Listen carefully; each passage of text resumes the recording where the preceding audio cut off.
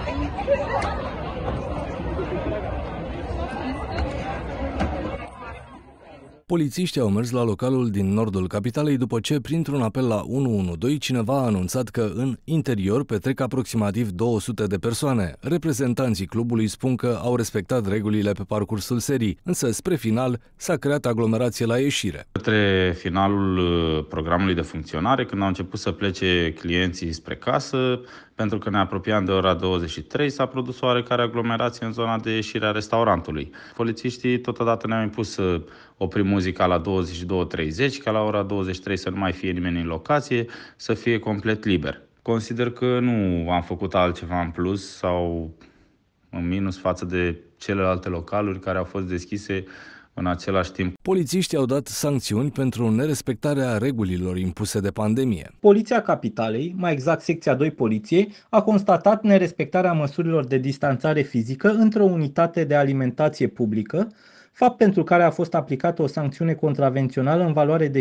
6.000 de lei administratorului societății comerciale. O tânără care a refuzat să poarte mască de protecție a primit o amendă în valoare de 1000 de lei.